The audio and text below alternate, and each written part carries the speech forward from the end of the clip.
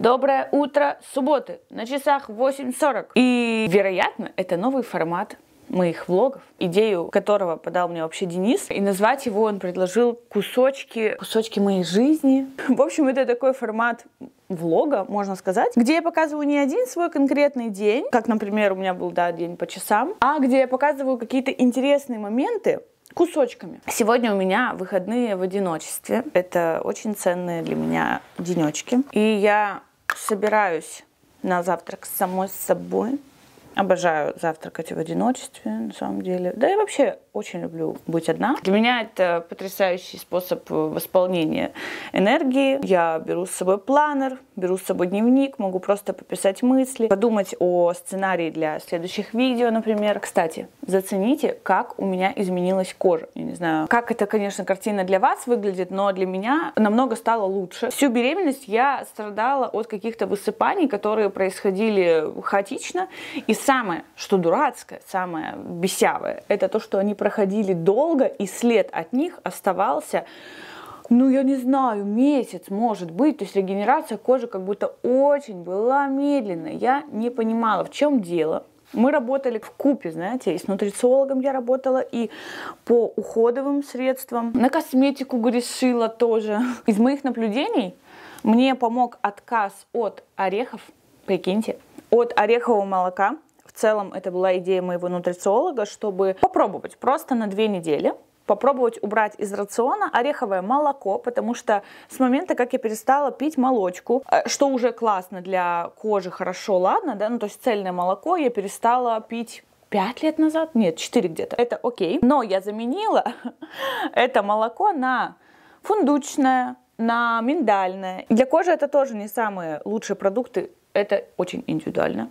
Я сейчас не даю общие рекомендации. Более того, надо вообще в идеале посмотреть мне непереносимость продуктов разных. Я хочу сдать анализ Immunohealth называется. Там на все аллергены мира показывает, есть ли у твоего организма вообще реакция на это. Даже если ты не видишь это в плане дискомфорта в ЖКТ, реакции на коже, каких-то еще проявлениях, это может просто вот непереносимость, она может накапливаться в организме и идти какое-то внутреннее воспаление, от которого могут вообще самые разные ноги расти. Вот моя мама, например, всю жизнь обожала яйца, а в частности желток. Именно, знаете, когда ты делаешь такую яишенку, где желток жидкий и с хлебушком ешь. И вот сдав подобный анализ, она сдавала не иммунохелс, а какой-то другой, но там тоже была видна реакция организма на аллергены. Она узнала, что у нее, оказывается, там зашкаливают на тысячи-тысячи единиц вот эта вот реакция на желтки конкретно. И что ей там их можно один раз в неделю для того, чтобы организм не накапливал это и не перерастало все это воспаление. В общем, это первое, что мне помогло, как я считаю, потому что я начала замечать, что, по крайней мере, мере, следы от высыпаний у меня не держатся так долго, как держались раньше. Второе, и пока мне сложно понять, что конкретно повлияло сильнее, потому что я вместе начала вот это делать, отказ от орехов и орехового молока, и использование масла ладана, эфирного натурального масла ладана на лицо. С этим у меня тоже были вообще вопросики, типа я всегда была убеждена, что в целом на кожу лица масло никогда нельзя наносить. То есть э, у меня было такое убеждение, что окей, там тело от растяжек просто увлажнить, супер. Но на лицо я была убеждена, что это вообще все там в комедонах у меня покроется. Вообще нет. Оказывается, эфирное масло работает по-другому. В купе с фракционным кокосовым базовым маслом оно правда, нормально кожа воспринимается, но опять же повторюсь, что это в моем случае не является рекомендацией и так далее. Просто я прям действительно заметила разницу и начала из того, что сначала даже наносила просто на высыпание э, ладан, а потом уже на все лицо начала. То есть он, знаете, как бы стал моей сывороткой. После тоника я смешиваю эфирное масло ладана и базовое масло наношу на все лицо. Что за кусочек интересный сегодня хочу показать вам я? Это скрининг третьего триместра. Сегодня я его прохожу, кстати, одна. Обычно мы с Денисом на УЗИшки ходим, но ничего. Почему я оказалась вообще одна? У нас интересные выходные. Вся семья разбрелась по разным местам. Прикиньте, такого у нас еще не было никогда. Денис с мамой моей и с Евочкой уехали в деревню. Денис оставил маму мою со своей мамой, то есть там две бабушки, Еву, ее двоюродную сестренку, с которой они сейчас тусят вместе, и им очень весело. Она постарше Евы на два года. Это, получается, Дениса племянница родная. Денис едет дальше. Денис едет в Челябинск на тоже вот пару дней. Там встречается с друзьями, потому что напомню, кто, может быть, забыл или кто новенький из э, моих подписчиков, дорогих, близких, любимых. Денис вообще-то родом из Челябинска. И когда мы с ним познакомились и решили, что мы будем вместе, он переехал сюда, и начал здесь абсолютно новую жизнь, оставив там все, в том числе друзей. Ну, кто-то из друзей уже сам оттуда переехал. Здесь у него, конечно же, образовалось сообщество новых друзей. Но кто-то остался там, и, конечно, это близкие его люди. Периодически он вот так вот к ним приезжает. Или они к нам, например. Как Денис на прощание сказал, что мы, наверное, когда съедемся в воскресенье, то есть они вернутся, я здесь тоже своими делами занимаюсь, отдохну, мы слипнемся все как магнитики. И самое интересное, что я вчера была в полном смятении, что мне конкретно делать, то есть составить ли мне план планов, а как провести эти выходные, чтобы я их точно запомнила, чтобы я точно, даже не то, что запомнила, что запомнить, э, как бы отдыхать надо просто, чтобы я качественно отдохнула и почувствовала эти дни, или второй вариант у меня был просто вообще плыть по течению, э, этих дней и ничего не планировать, даже не думать. Я, кстати, нанесла вот из этой палеточки Seventeen, который называется Sunkissed, это бронзер даже больше, и вот эти вот румяна я просто что такое делаю, звоню кому-то по кнопочкам нажимаю, и вот этот общий оттенок наношу на щечки. Второй вариант у меня был просто плыть по течению этих дней, но я так не смогла, конечно. Я составила план, но из приятных дел. Например, в этом плане есть пункт порисовать. И как бы классно же, что он меня и расслабит. Это такая своего рода медитация. Я, кстати, чтобы порисовать, сегодня заберу картину, которая придет с Wildberries, точнее уже пришла, мне ее надо забрать, по номерам. У меня такое дежавю, потому что в беременность с Евой я тоже напала на эти картины. И именно в третьем триместре, мне кажется, возможно, это связано с тем, что беременной женщине хочется какой-то вот, э, правда, монотонности, какой-то, знаете, медленной работы. В последнее время мне почему-то очень соскучилась мне, мне соскучилось по э, стрелкам. Я рисую стрелки каждый день. А, я же еще забыла выпить коллаген. У меня здесь теплая вода с коллагеном, и его я пью в таком вот виде, в жидком, потому что это хотя бы не тошнотно. Потому что когда я попробовала его выпить как желе именно, ну то есть то, то в каком он состоянии, да, изначально, а напомню, почему я так делаю, потому что он так лучше усваивается. То есть не в капсулах, а именно вот э, в банке. Меня чуть не стошнило, когда я его э, вот так вот съела. Во-первых, он мне напомнил вкус овсяного киселя, который мне мама делала в классе восьмом-седьмом, когда у меня были проблемы с э, селезенкой. Какое-то время я сидела на диете пятого стола. Это очень ограниченное питание, почти год, потому что у меня увеличена была селезенка в два раза, и это было как бы наше лечение такое. И вот этот кисель, он очень... Я не знаю, что там еще было, почему он мне по запаху так сильно напоминает коллаген. Меня, в общем, что тогда от него тошнило, что сейчас этот вкус мне напомнил. И именно в этот момент, когда я вот впервые съела вот эту ложку коллагена в таком вот формате холодца, Денис мне сказал, ой, напоминает холодец. А я еще холодец ненавижу просто. Он мне тоже, у меня блевотный сразу, простите, рефлекс, инстинкт. Меня реально чуть не вырвал. И я подумала, боже, что же делать, чтобы его пить спокойно и каждое утро не казалось для меня мучением. И я его стала разводить в теплой воде, и теперь это не так противно. Я просто пью всю эту кружку, не дыша носом, а значит, я не чувствую запах. И вместе с ним пью йод свой и витамин С. Это все происходит натощак за полчаса, за 40 минут до еды. То есть сейчас как раз я накрашусь, и мы с вами пойдем на завтрак.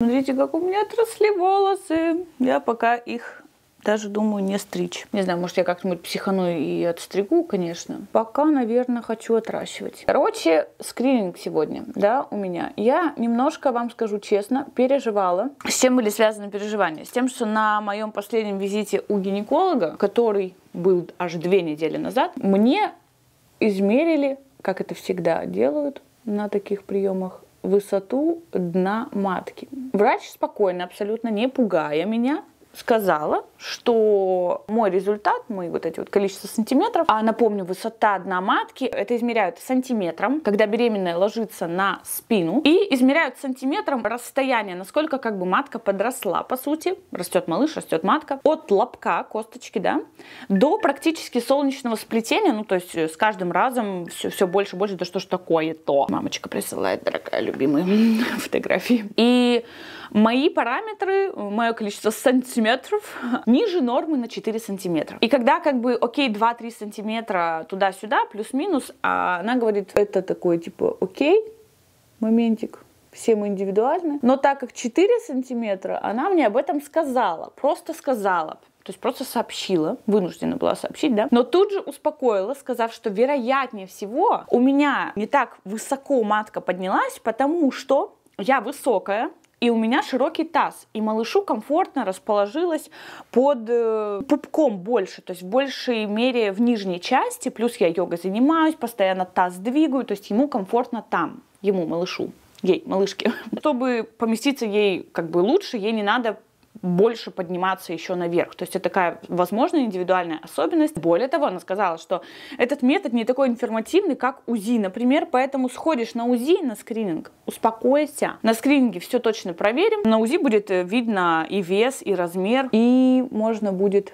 все понять как развивается малыш. И походу это отголоски замершей беременности или что, но я не смогла так спокойно воспринять эту информацию. То есть я вышла от гинеколога, такая, окей, окей, окей, все хорошо, типа будем ждать скрининг. И, и с каждым днем что-то я начинала себя накручивать. А не слишком у меня реально маленький живот? А хорошо ли развивается малышка? Почему я вообще такая бодрая? У меня так много сил, активности вообще. Я не чувствую себя вот таким ледоходом, знаете, как вот с Евой все равно под конец срока я чувствовала немножко такую, ну, тяжесть, свою как бы величие величественность, что ли?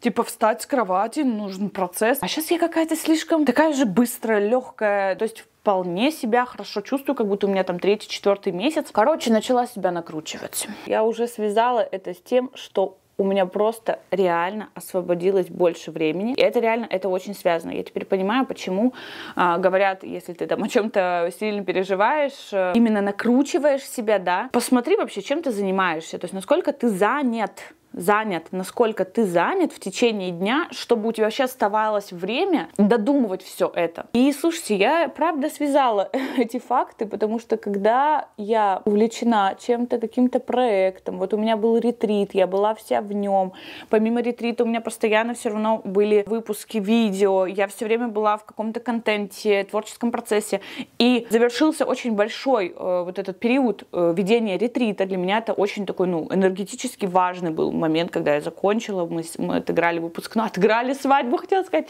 э, реально, как будто свадьба была. Я закончила влог Бали, это тоже такой вот, знаете, большой энергетический для меня был кусок. Я каждый день, по сути, знала, что вот я сегодня должна какой-то вклад внести, сколько это шажочков сделать. И все, я вернулась к обычному своему ритму. Когда я снимаю, монтирую, сотрудничаю с кем нормальный формат для меня, я тоже как бы в нем раньше жила очень много лет, и мне, мне этого хватало. Внезапно решила просто нанести нанести э, карандаш для губ, хотя у меня еще одна стрелка не нарисована. Почему нет? Но я поняла, что, скорее всего, из-за того, что реально у меня подосвободилось время, энергия, а пространство я начала себя накручивать. Я поделилась этим, кстати, с вами в запрещенной сети. Вы меня очень поддержали. Благодарю вас за это, потому что многие поделились своими историями, что у них там и на 7 сантиметров отставало все время от нормы, и все по УЗИ было хорошо, и что где-то это вообще в других странах, там в Греции, в Испании, еще дофига где вообще такие штуки не делают.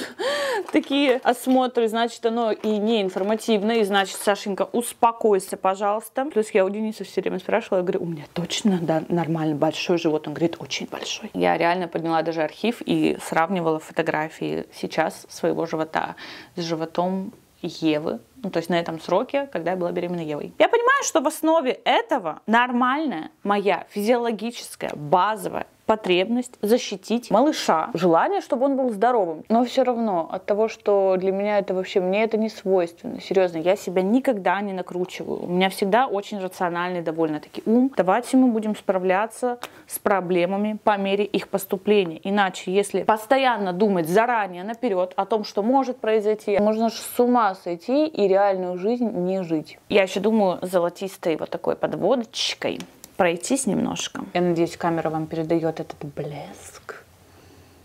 У меня сегодня такой классный сон снился. Мне приснились мои роды, что они были настолько кайфовыми, настолько мягкими, приятными, что я даже практически схваток не заметила. У меня сразу же начался второй этап родов потуги. Но если вспоминать первые роды, они длились у меня 17 часов в общей сложности. И где-то 16-30 из этого это были схватки. И мне почему-то именно в конце потом акушерка говорила, что вот там героиня, столько часов схваток, что это там сложно, больно. Но мне они проживались достаточно комфортно, потому что я помогала себе углубляться и уходить очень сильно в себя, и мне реально очень помогало и дыхание, и аудио медитации. Во второй раз я, конечно, все то же самое буду использовать, и даже еще более глубоко. Прям, знаете, иду на скрининг как на праздник вообще. Для бровей у меня несменный карандаш от Vivienne Sabo в оттенке 02.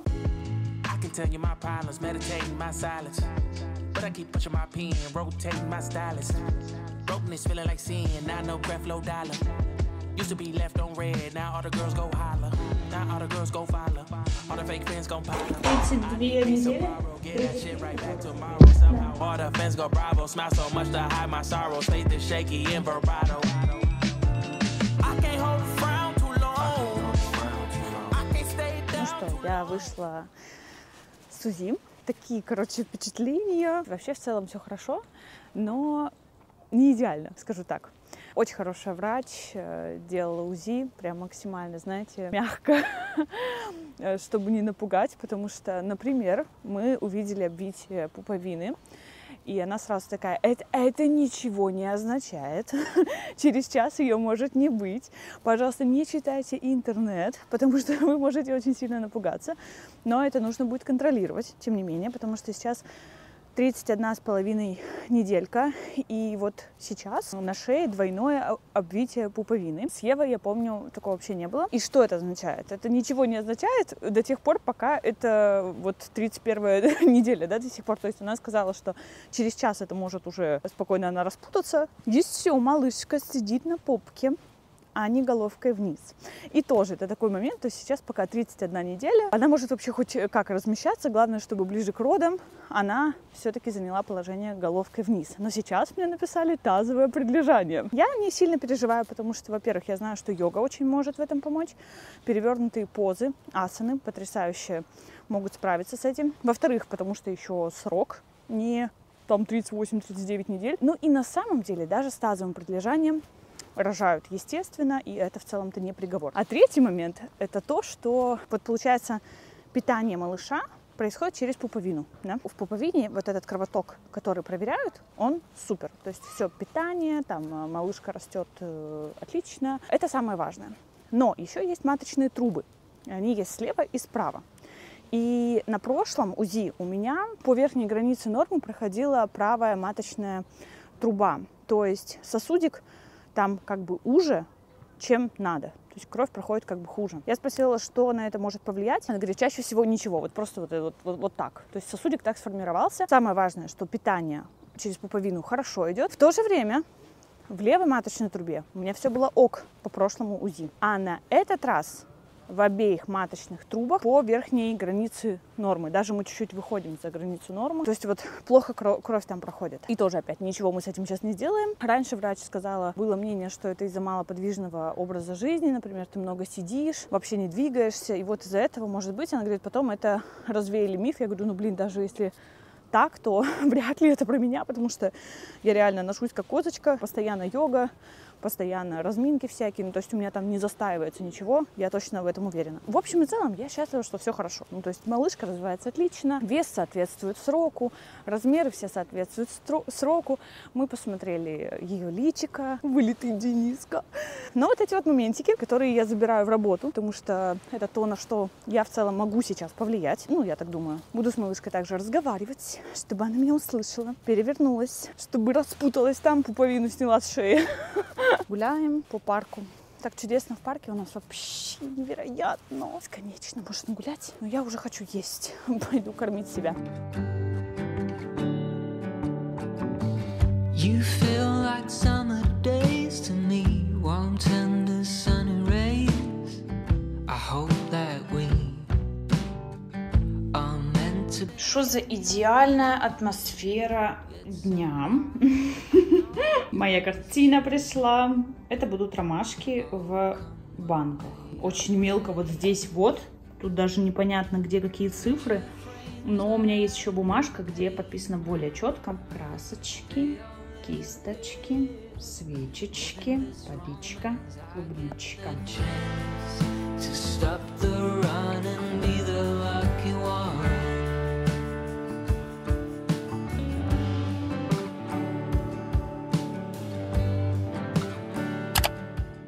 Добрейшее утро. В эфире Евочка, цветочек, э, кошечка, повар. Расскажи, что мы с тобой делаем, пупсик. Варим сырники.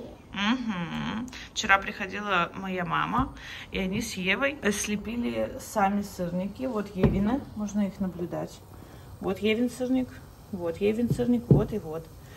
Это мамины. И сегодня у нас будет завтрак из них, да? Где папа? Пошел в душ.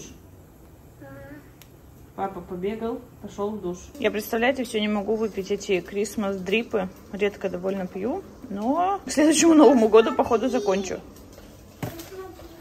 Что посмотреть?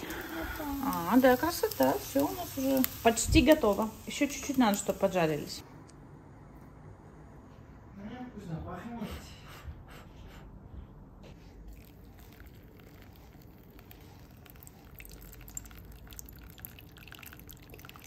О, этот запах, он уже распространяется везде.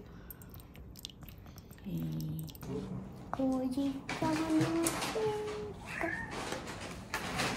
О, что ты сам так делаешь, что ли?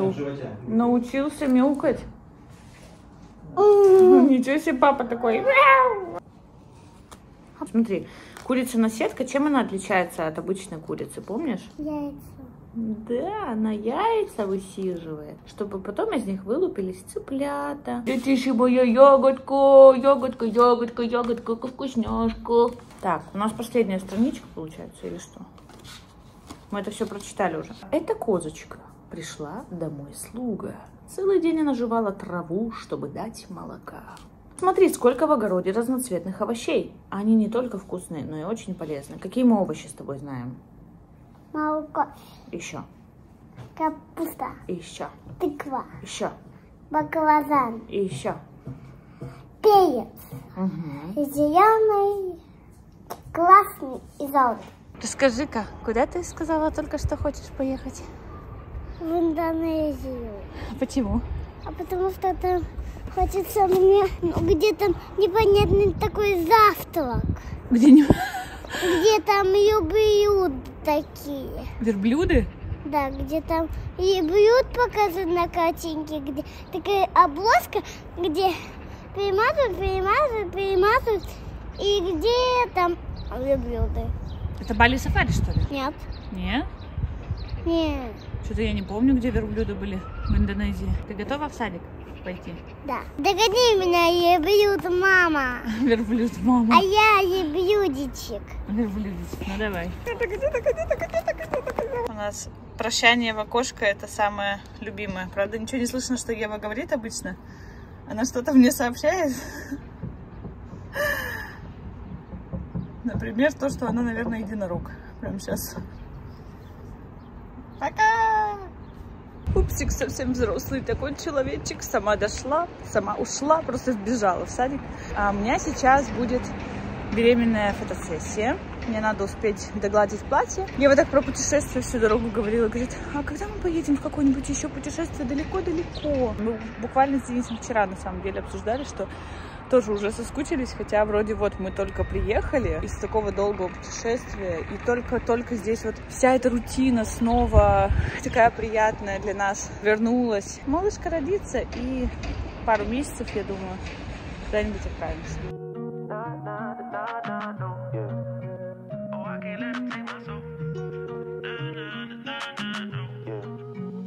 I can't let them take my soul. Nah, nah, nah, nah, no.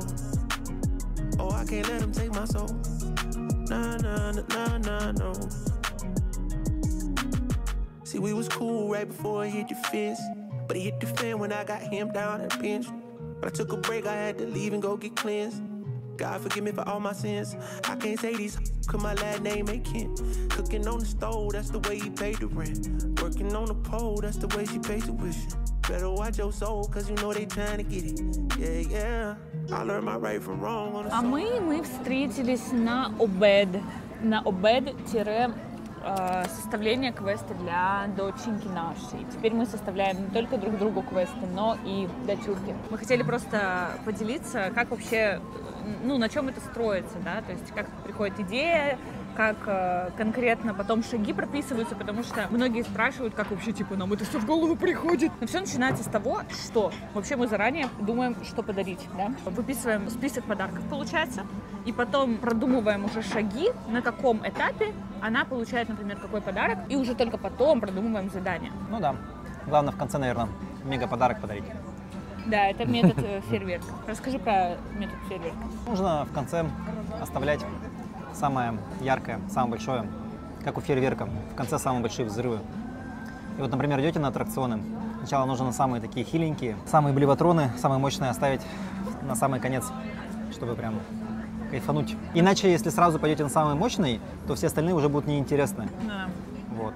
То есть нужно шаг за шагом. Это как Денис недавно дарил э, подарок э, другу. На самом деле ему очень крутые э, шахматы подарил, точнее купил. То есть такая прям шахматная доска крутая, там все из бука, да, что-то такое. Ну тут прям качественный подарок. У него был день рождения, а он ему дарит сначала какую-то бумажку для записи ходов, да. Такой, вот, держи с днем рождения. Ну там специальная он- книжка, да, где на ну соревнованиях да, ну, ходы для, дня, для дня рождения такой как бы себе подарок, хотя так как он не праздновал, да, ну то есть все равно ты сам решил сделать ему просто приятно. И как бы это уже приятно. Друг такой, о, прикольно, классно, спасибо. А потом он такой, ну еще один маленький подарочек. И мы, получается, наша подготовка начинается еще где-то за месяц, за полтора в том, что мы просто думаем, а что бы подарить Еве. То есть э, из каких-то ее запросов, записывали заранее, спрашивали. Правда, когда мы в этот раз спрашивали, э, что тебе подарить, она говорила, я хочу мягкую маму. Мягкую маму. маму в игрушке. То есть для нее это была какая-то игрушка, чтобы там было наше лицо, типа, ну, я не знаю. Но потом она сказала нам, намекнула, что там она хочет кошечку, и поэтому мы уже заказали заранее а, киску. Вот она очень любит костюмы, например. Ну, это такой персонализированный подход. Вы уже своего ребенка, наверное, просто будете лучше знать. Ева обожает всякие костюмы, чтобы можно было переодеваться. С недавних пор она очень любит Эльзу, поэтому у нас один из подарков Эльза. Кушай. Да ладно, я смотрю. остынет? Пока я смотрю. Ну ладно. Ну, короче, мы, получается, расписали список. Например, у нас э, в списке было, что мы дарим точно Лего, точно самокат, точно кошечку. Остальное не буду говорить, потому что у нас будет влог с дня рождения, будете смотреть. И потом мы думаем, какие этапы в квартире, например, прикольно, э, точнее не этапы, а места в квартире прикольно задействовать. И потом уже, исходя из этих мест, придумываем задание. У нас в этот раз будет э, кошечка все озвучивать, то есть та самая кошечка, которую мы ей дарим, она будет э, прикреплена к колонке, точнее колонка будет на ее хвосте, и мы заранее запишем голос. Или ну, на шее. Ну да. У нас в том году так единорог озвучивал, но э, у нас было довольно мало времени, точнее я просто заранее не подготовилась, и спасибо. И я не, э, не изменила свой голос, поэтому он очень был похож на мой голос. И типа там был такой, привет, я твой единорожка. А в этот раз мы хотим изменить голос прямо в редакторе, чтобы было ощущение, что это реально кошечка. Приветики!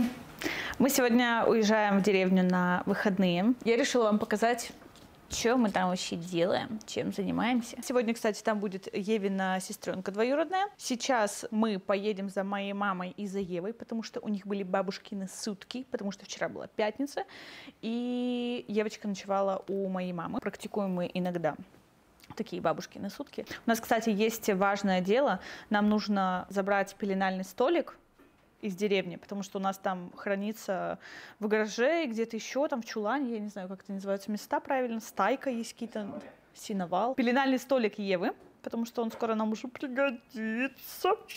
И кроватка тоже Евина, приставная. Мы, кстати, всегда гоняем с чемоданом. Это очень удобно. Вместо того, чтобы 500 котомок класть, просто берешь чемодан, даже если мы едем вот так на сутки, очень удобненько. И в машину вот такая Сумка колясочная обычно едет, тоже для всяких мелочей. Там мой ноут всегда, чтобы я могла помонтировать в дорожке. Что скажешь? На тебе нет микрофона. Ты ничего не скажешь. В бак застряла штучка. вытаскиваю. Скажешь в дороге про э, свое деревенское прошлое? Какое прошлое? Не знаю, про какие-нибудь интересные. Какой ты городской? Ты же родился... только лето проводил. Что ты мне подсовываешь, как это? О, давай то садись вперед, Ева уснет и будем болтать. И запишем какую-нибудь дорожную идею.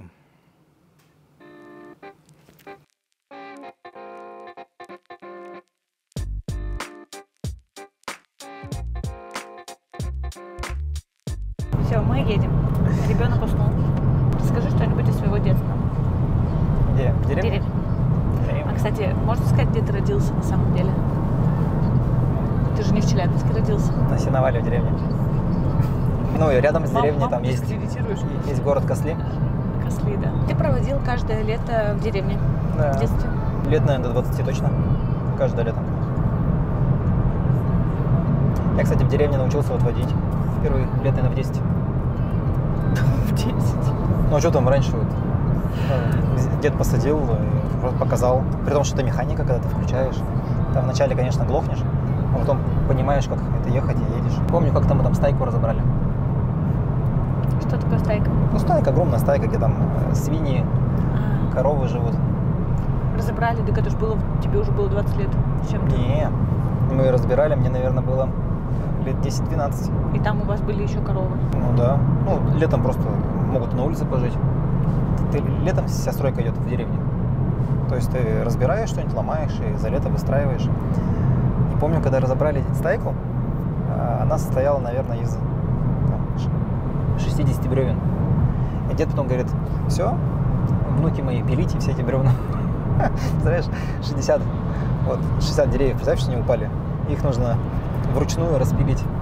Он говорит, распилите за лето. А за плату какую-то или нет? Какую плату ты что? В деревне у нас, короче, режим был. Где-то просыпались часов, я думаю, в 7 утра. Иногда и раньше надо было проснуться. И если мы не просыпались, то дед просто брал, забрасывал на плечо и уносил там. э, В саду было большое такое колесо, тракторное, гигантское. Оно маленьким казалось большим бассейном. Оно И до туда сих пор мог- стоит. и туда мог, ну да, вот, с которого по лифту идет. Да. И туда мог просто забросить. Это если, э, например, с вечера договорились, куда-то проснулся уже, и вот ты спишь. Стоит сказать, что у нас каждое утро до обеда это была всегда только, только работа. То есть мы примерно до 12 до 2 э, работали только. То есть все время какие-то задачи, там что-то полить, посадить. Вот у нас одно лето были как раз бревна. А пилятся они вот такой длинной пилой, знаешь, двухручной. Когда с одной стороны человек стоит, и с другой. И вот мы с братом маленький там своими такими ручками, как буратино, пилим кое-как. Получается, если смотришь на все эти бревна, что их нужно распилить, это кажется капец невозможно. А когда ты думаешь, что сегодня тебе нужно распилить всего лишь одно бревно, то это уже не кажется таким невозможным. И каждый день кирпичик по кирпичику пилишь, пилишь, пилишь, пилишь, и вот там через месяц-два они все заканчиваются. Красота. Я сейчас поняла то, что мои задачи в саду, которые мне давала бабушка, это просто, просто пустяк. Саша, пропали, пожалуйста, грядочку одну небольшую, Не, у нас там чтобы ты не устала. у нас все время только рабочий режим до, ну, говорю, до 12, до 2, там как сами успеем. То есть у нас есть список задач, мы их делаем. Мне кажется, мне бабушка больше это хотела, чтобы я отдохнула. Она меня все время жалела. Говорит, учишься так много. На каникулы столько задали. Отдохни, бегай, играй. Зачастую нужно было что-нибудь сделать интересное. И ты думаешь, как это сделать? И вот мы вместе там размышляем. А можно при, при так вот делать, а можно прикрутить, а можно на проволоку приделать. Мы думаем, какой способ лучше. Вот здесь, мне кажется, тренировалось какое-то творческое мышление. Наверное. И вот сейчас легко какую-то задачу, мне кажется, любую практически решить. Я помню, мы однажды с Сашей решили сделать э, плот, плот, э, чтобы на реке покататься, по- поездить. Конечно же, у нас ни хрена не получилось. Из дома, из дома опыт? Да нет, мы просто хотели. У нас была маленькая такая, ну типа это не речка, это был родник, где была очень холодная вода, ледяная. И мы подумали, как классно в жаркое лето сделать себе плотик. Но мы не умели ничего, конечно. Мы просто подумали то, что надо бревна взять любые, деревяшки любые, и соединить их гвоздями. Гвоздями? Ну, типа вот так. э, Поставить четыре штуки, и вот так вот две, и прибить верхний к нижним. И, конечно, у нас не, не было таких длинных гвоздей ни у кого. И она все развалилась. А я в детстве хотел лодку угнать. Лодку. Ну там у нас все время какие-то такие деревянные лодки везде стояли. Все время казалась такая крутая штука. на лодке покататься. А то все время рыбачишь с берега, хочется с лодки. Я даже пытался там ключами подбирал замок. Потом думал цепи распилить. Начал, ну как-то вот, они такие толстые цепи, невозможно. А ты не думал просто попросить покататься? Тебе бы дали, наверное. Ну нет, хотелось как-то по-свойски. Ну, то есть ты не думал, то, что ее же увидят потом на этой же реке? Не, ну когда тебе там 7-10 лет, Ты не ты подумал, не об этом? размышляешь. Я просто забрал. А так и не получилось? Сегодня зато покатаемся.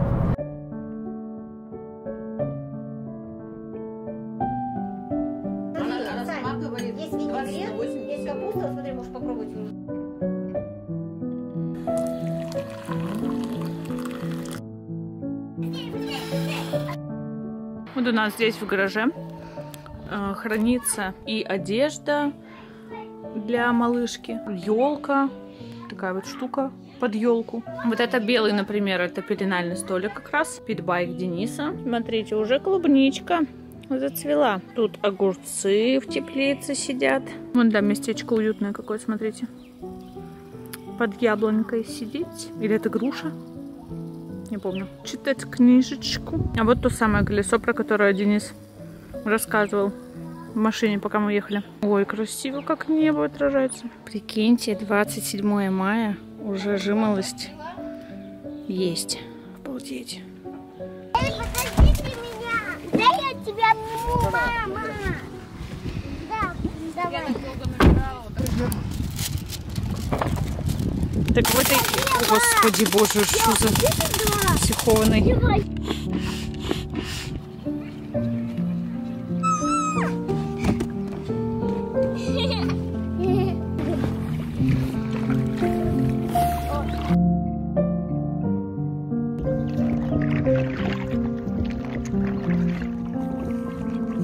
Мы плывем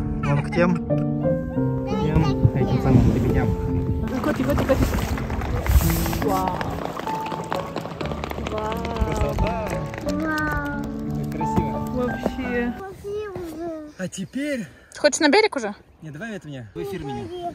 Давай. А теперь я вам покажу, где этот пруд, пруд берет начало. Вообще пруд это что такое? Похоже на озеро, только через это озеро, так скажем, проходит сквозная река. Она и наполняет этот пруд. Вы? Сейчас я покажу тебе начало реки. А, вон, как раз недалеко. Ляпота! Слышите, там сколько птиц там? Услышите миллионы птиц, они там в камышах Хочу подрыгать ножками. Подрыгать? Ну давай. Денис очень просил снять этот момент, как мы всплываем в устье реки. Вот оно. Да. Смотрите, сейчас увидите. Я здесь первый бизнес свой замутил в 7 лет. Раков ловил. И послушайте, давайте тишина, птички вот эти все. Слушайте, маленькие птичечки недавно вылупились. Прям птенчики. Тонко чирикают. Где там прыгают? Это просто стрекозочка. Нет, вот это. А, это водомерка. У нас тут замена произошла. Моя мама теперь с Денисом и с девочками. А я с черешенкой на берегу. Вдвоем они, когда встречаются, у них сразу интеллект минус 100. Они просто повторяют друг за другом, много орут и вообще отключают мозг. Это очень забавно. У тебя черешня какая-то это... Это беременная черешня, Ева, беременная. Дома. Смотри, она размером с арбуз. Но у нас, я сейчас представила сразу же, наши девочки будут с разницей в возрасте побольше, поэтому, наверное, будет попроще. Какой-то будет возраст заботы уже, подсказок. Надеемся. Идем за пеленой, а нет, за кроваткой. Она у нас на сеновале. Вот там. Что, что вообще происходит? Наше хранение. Первый пошел, второй пошел. Иди там кроватку. Как жарко, боже мой, как жить вообще. 45 градусов, да, на улице? Реально, такое ощущение, что мы на Бали. Вот и кроватка. Давай я сам покажу сам где я на свинью падал. На. В подкасте с Сашей ра- рассказывал, что я на свинью падал. Вот здесь раньше шифера не было. И тут, получается, было открыто туда. И вот такая высота. И я, получается, здесь сидел. Ножки у меня свисали. Мне было где-то 2-3 года. Или 4, может быть. И, получается, я сорвался и вниз упал. И там как раз свинья стояла. Там у нас проход есть, косяк. Я прям на нее двумя ногами упал. За уши схватился. И мы вон туда поскакали. Вот так вот было. Еще раз. Погреб. Погреб. Погреб. Ну, у тебя только что вообще прикольно получилось. Почти буква «Р» была, да? Погреб. Да, очень близко, Ева. Какая красота. Раньше здесь вот картошка была со свекла, там всякие соленья держали, банки туда складывали. Отходите, Так, у нас солнце с той стороны. В деревне у нас примерно миллион разных настолок, и это уже приятная традиция поиграть с нашими мамами. Сейчас наша любимая игра, например, кодовые имена. Вообще, я как-нибудь соберусь и сниму видео про все настолки, в которые мы играем, потому что это, правда, очень классное времяпрепровождение с друзьями и родными. Ну, попали в одну, и три угадала свои. Три угадала, представляешь? Круто. Ну, вообще Я да. вообще бы не угадала. Наташа классно, молодец. Стало все просто. А, стол. А, подожди, подожди, я вспомню. Знаешь? А, прям- а прямыми же нельзя говорить. Можно, можно. Так это ты только объяснишь одну? Очень же редко, когда Все, два скажи, стола. какая была четвертая, помнишь? Вот это? А почему? Почему она нас? Ну, потому что там Хиросима, Нагасаки. Бомба ведь, Да, точно. это же бомба, господи, это же Точно. я. Слушай, а я бы знаешь, что сделал? Я бы сказал рисование следующее.